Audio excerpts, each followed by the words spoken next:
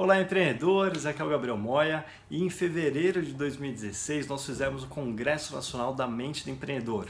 Eu conversei com vários empreendedores, especialistas, foi muito bacana. E um dos empreendedores que eu conversei foi o Gilberto Com, que é o CEO proprietário da Femcost, uma indústria de alimentos saudáveis, muito bacana a empresa dele. E depois da entrevista a gente ficou conversando algum tempo e eu não esqueço uma coisa que ele falou. Ele falou o seguinte: ele estava num momento que ele estava é, começando um novo negócio com uma nova parceira comercial e iria levar a empresa dele para outro patamar.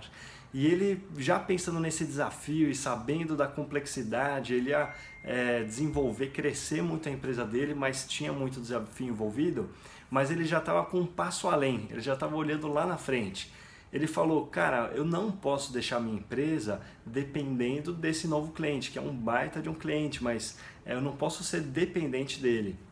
Eu preciso arranjar outros parceiros como ele, talvez concorrentes dele ou pessoas é, que consigam fazer um negócio parecido para eu não ficar dependente desse cliente.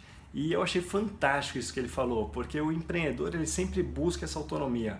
Ele não pode ser dependente até de um cliente, né? ser dependente de um colaborador, de uma área específica. Então ele tem que sempre buscar essa independência.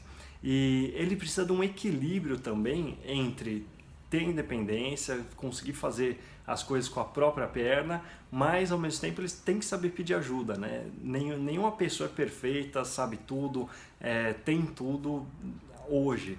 Então ela precisa de algumas pessoas, ela precisa de apoio, ela precisa de ajuda em alguns momentos, e em outros momentos ela precisa de independência. E esse equilíbrio é a chave para ter sucesso no empreendedorismo. Uma das chaves, né? Então, bom, fica aqui a lembrança e se você curtiu, então comenta aqui embaixo alguma coisa de quem exatamente que você quer ser independente. Um forte abraço para você e até o próximo vídeo.